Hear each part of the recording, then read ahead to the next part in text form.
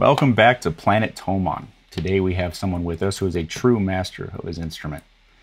He is a brilliant clinician, teacher, Yamaha performing artist, and he's performed all over Europe in a wide variety of music ensembles from the Stuttgart Philharmonic to the European Jazz Orchestra, Egerländer Musikanten, WDR Big Band, SWR Big Band. I could go on and on, but let's welcome Christoph Moschberger. So the last time you were with us here on Planet Thomann was at the end of 2018, I think. And a lot of things have happened since then. Uh, the thing foremost on my mind is how are you doing, first of all, personally with your health and also as a musician in this time of pandemic? It's a crazy time for, for every artist around the world, um, but I'm, I'm fine. I'm uh, in in good shape and I'm healthy and I'm doing well. That's good. the yeah. first thing, and I'm happy with my family here around uh, around me and uh, enjoying um, this this time at home. Mm. Even uh, the free time, and but uh, as well the, the the when I'm working, when I'm writing, when I'm um, yeah, working at home because that's a new experience for me. I've been on tour a lot before and now it stopped. I'm I'm really enjoying it. Uh, but I'm for sure I'm, I'm really looking forward to to be back on stage and um, meeting my friends and uh, my, my colleagues and yeah be back on stage. Yeah, it's just not the same. it's just not the same when, you, when you can't perform. Exactly. Um, exactly. I've noticed that you have a Patreon site, patreon.com/slash Moschberger, where you mm -hmm. give online lessons and yes. things of that nature. Can you tell us a little bit more about that?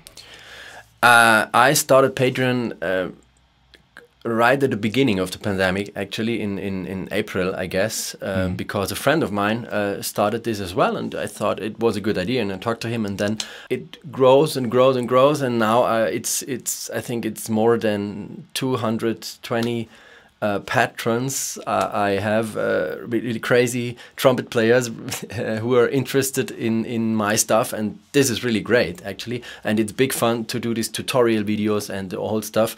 Uh, what I'm doing there is I, I pick up some uh, topics of trumpet playing, really small topics um, most of the time, and are explaining it in videos, in tutorial videos, and are and I give um, the exercises and the whole studies and things uh, for me to my patrons, to my students actually, uh -huh. and yeah, that it's the that's the core of the whole thing. This is a unique situation for me because um, I'm a trumpet player, and I'm interviewing an exceptional trumpet player, and um, I would like to pick your brain as well as a whole bunch of other people. Uh, we received some questions on social media. Claudio Hoigan Hey, any advice on learning material about writing for horn sections? Is there learning material out there? I think is the question. Um, oh, actually, I don't know. I've never been uh, studying uh, the whole writing thing, arrangements and, and thing. I, I learned it by doing. So oh. I started, uh, oh, sorry, I started writing um, for my own horn section in my productions in my in my bands. And uh, we checked it out and uh, yeah and i got some experience and i went on. So it's i don't have any like uh, what it's called like a method or like mm. a learning book. It's not i don't have any advice. Sorry for that but i think the best thing is follow your ears what what do you like and then go on and go on especially uh, the next thing is if you do that if you are writing a horn section try to record it and then you can judge over it. That, oh, yeah. Not before. That, Recordings don't lie. yeah, that, yeah you're right. um, this is probably a good time to ask you about Zwei Zweitakter.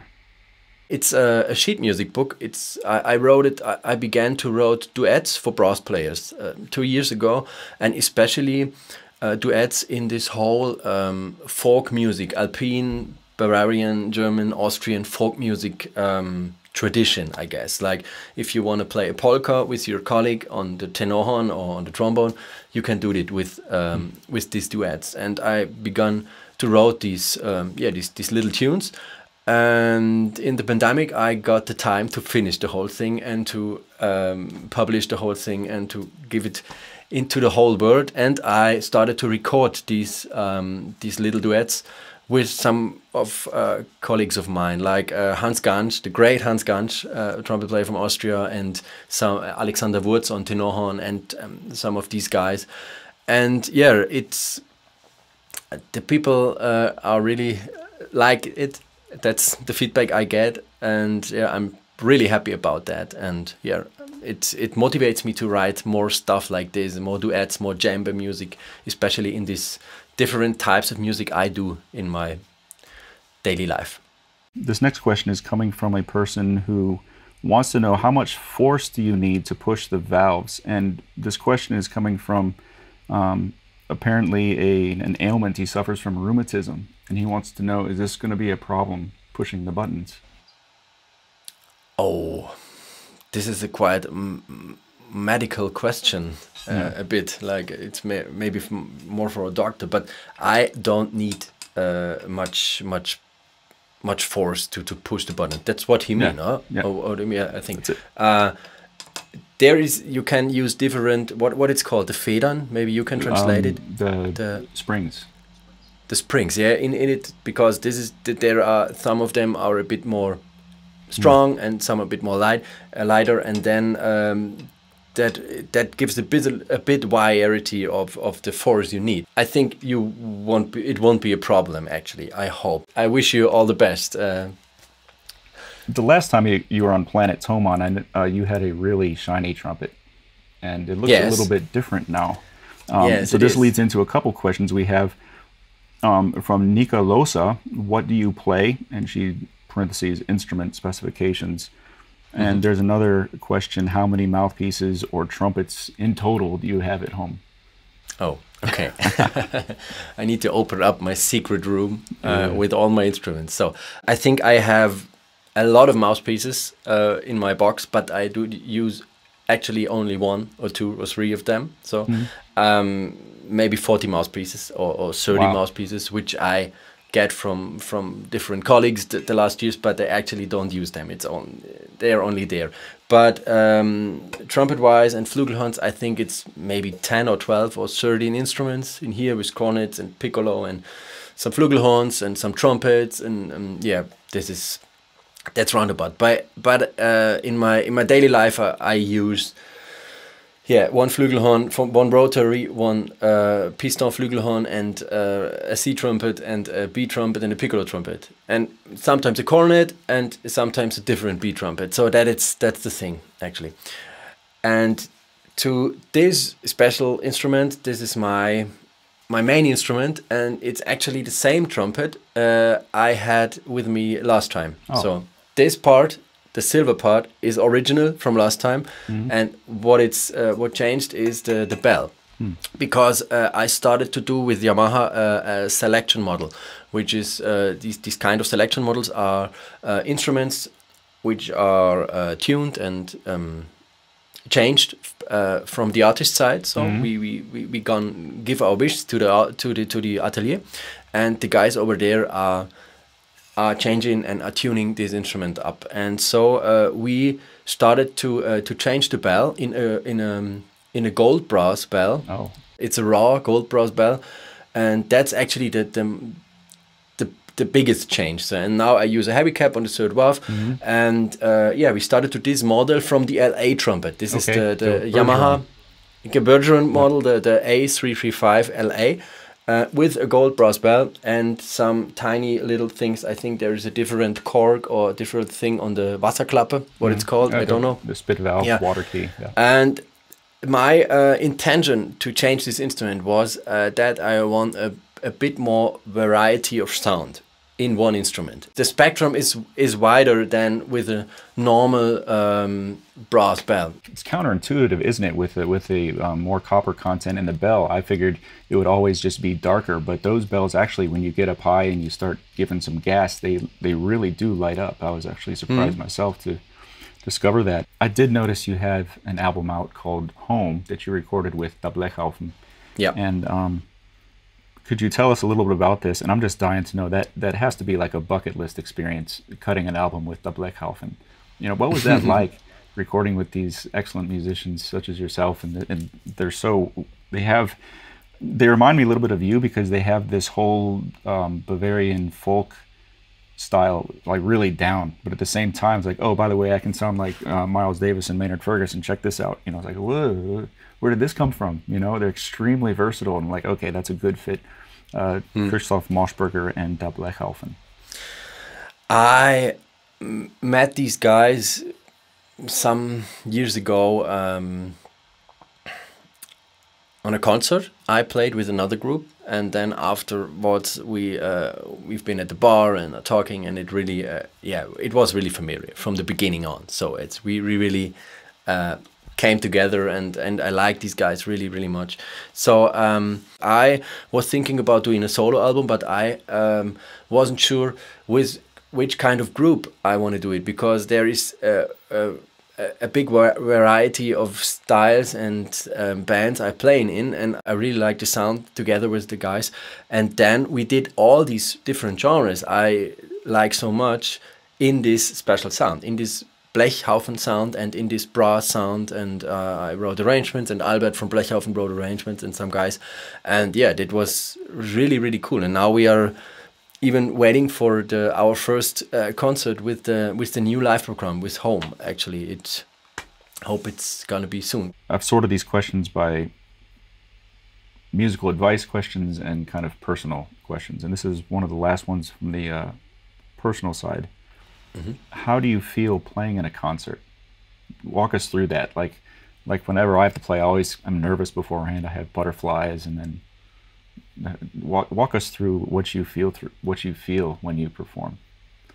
I have butterflies as well. So, but most of the time in a good way, actually, because I have some really uh, some butterflies which which are motivating me to giving all in this special moment, and that's the thing I always try to um, focus on. Uh, if it works for me, then I'm feeling great, and uh, for sure there are uh, some some concerts which I really uh, yeah I'm not that relaxed and I'm a bit of uh, nervous and uh, a bit of anger in the whole thing that that's sometimes it is yeah but I try to relax the whole time and focus on the good things and focus on the audience and focus on the moment and the people around me making music with. Because this is for me the most uh, interesting thing at uh, in making music to to to be uh, spontaneous spontaneous playing like so, so to to react on what is what is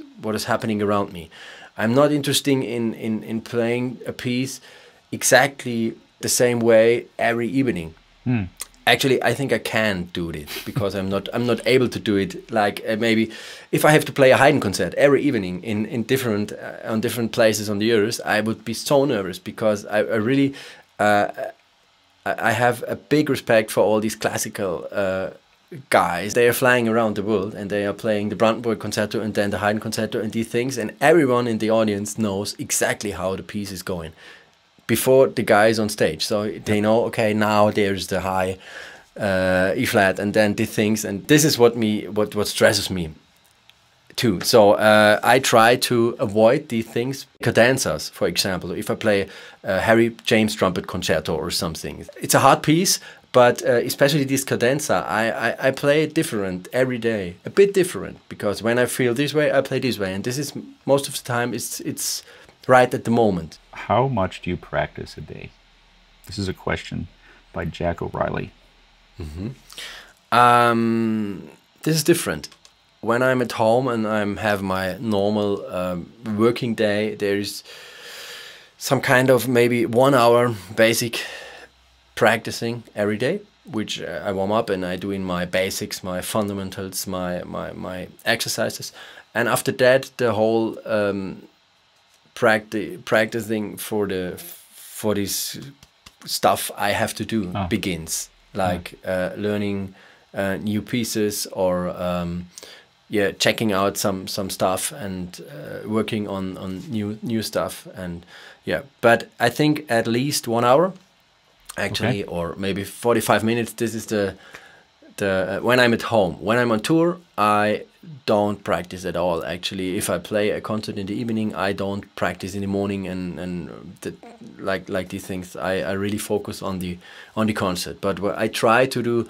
Uh, when I, when I have a practice day, it's at least one hour up to uh, or open end.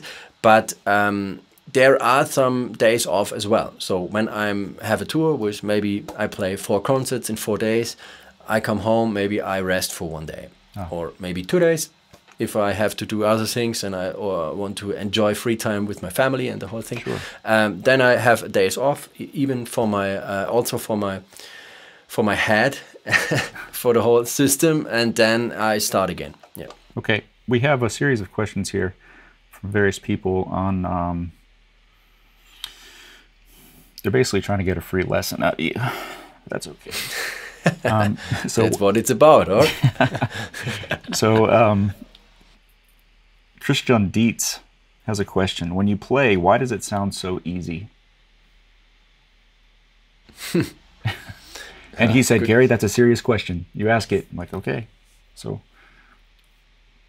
Uh, I think um, it's a good question. Yeah, I, I try to relax when I'm playing with the whole body. I try to only use these parts of my body which I really need, and I try to focus on that. And it, this is easier when I'm relaxed in mind uh, than uh, when I'm stressed. For sure, it, it does influence our breathing, and the breathing is maybe the most important thing about playing uh, trumpet. do you have exercises that you um, that you can better your your airflow? Yes, I have. Uh, I do some breathing exercises um, more and more. I began the whole thing even maybe one year ago. I didn't. I haven't done it active actively before from time to time, but now I really try to to um, to have it in my in my daily business.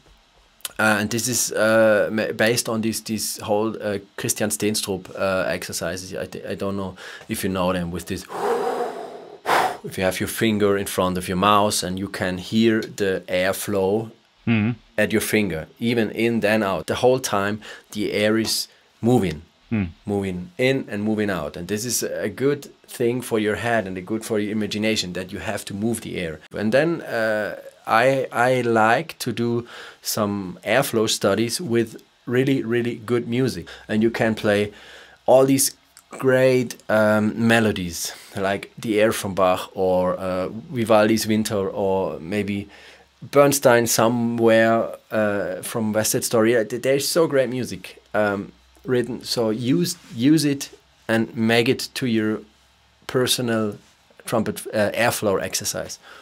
I have a question. I saw that video, and do you have any tips on circular breathing? Because you were circular breathing in that thing all over the place, and it sounded so clean.